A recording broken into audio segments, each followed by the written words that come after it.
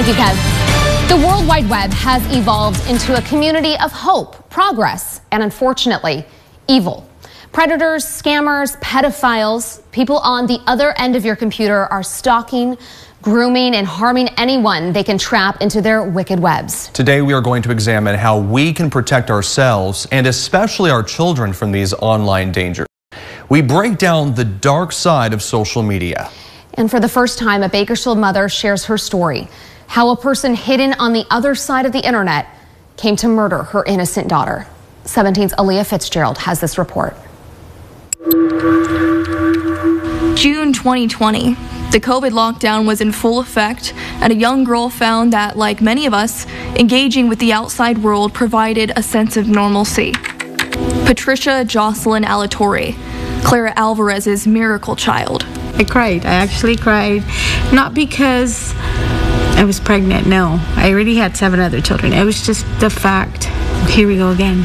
Another child entering a household where most of her siblings were already grown. Another child to care for, but a child every parent would hope for. Out of all of them, I enjoyed her the longest. And I always say maybe that's why God let me enjoy her so much because I wasn't going to have her for so long. Patty was a free spirit, an active teen. Fishing. She loved to go fishing. Patty was playing ball in the street, in the middle of the street with the boys, with my sons and her our little neighbor friends. That was Patty. Playing with neighbor kids or siblings is different than playing with someone that you don't know. Patricia Alatorre found someone online. We need to really identify these people and keep them away from our children.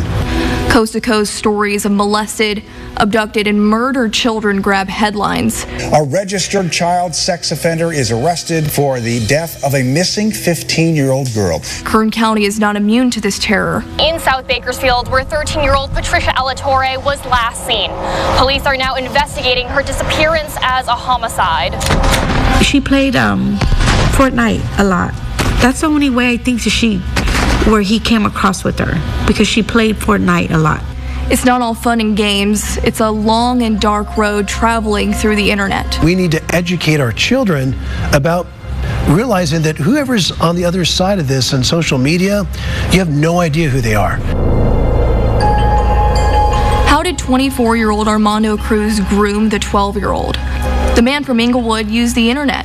That we know. Which online platform? We may never know. We do know he convinced her to send graphic images of her body in a very short period of time. People say it'll get better, it doesn't. It doesn't. I feel the same way as when I found out she was gone. It doesn't even get easier. And it's harder because you just imagine where she would have been. Children, unfortunately, talk to strangers on social media platforms and they get drawn into situations that they're really too immature to handle.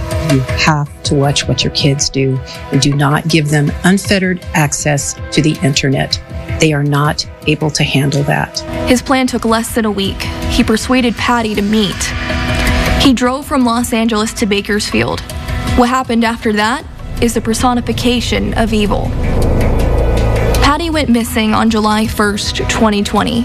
It initially was investigated as a child runaway.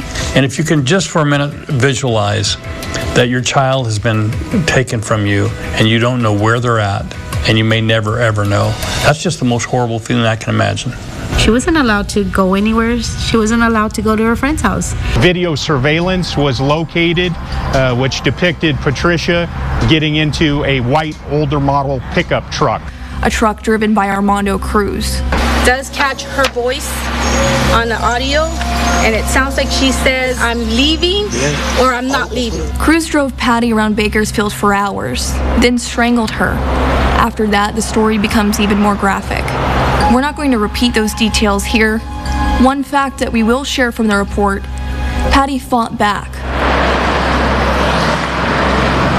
It was here in the industrial portion of Inglewood where Cruz proceeded to take Patty's lifeless body, duct taped in a sleeping bag, and proceeded to set her on fire. possibly to hide his crimes and possibly for others to find her. Armando Cruz wasn't the only predator hunting in Kern.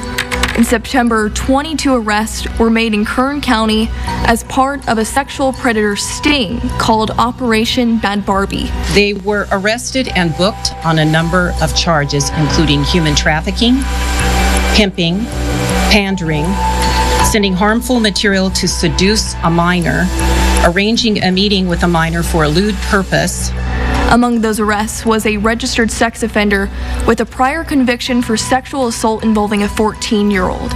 These people are right in our backyard.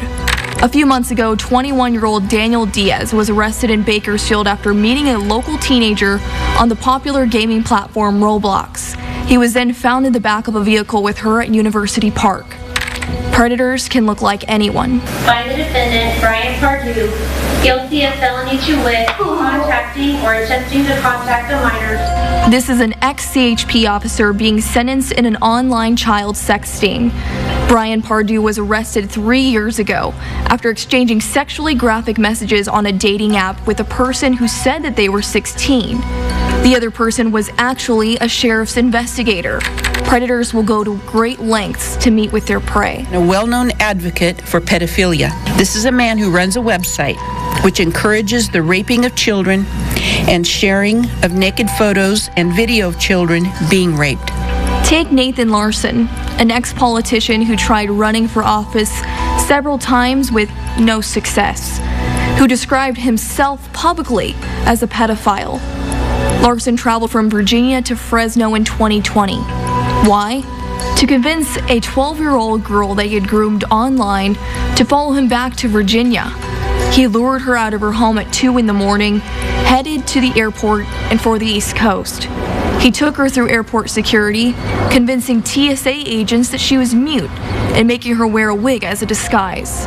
But hours after she snuck out of the house, the 12 year old's parents discovered their daughter was missing and contacted the authorities. Quick thinking, quick acting investigators cracked into the girl's social media and figured out Larson's plan. He was stopped and arrested at a layover in Denver. The girl was rescued. As for the monster who took Patty's life, Cruz avoided the death penalty by accepting a plea deal life without the possibility of parole. I don't think it's appropriate, but I know that California doesn't execute the death penalty. I would love to see him get put to death for what he did. Online safety is more than financial scams or identity theft. Children are being targeted. Predators are roaming our streets and the internet. We do know that there are pedophiles in our country. We do know that, at least in my opinion, that's not curable and they're going to reoffend. And your children are the ones that they're looking for. For 17 News, I'm Aaliyah Fitzgerald.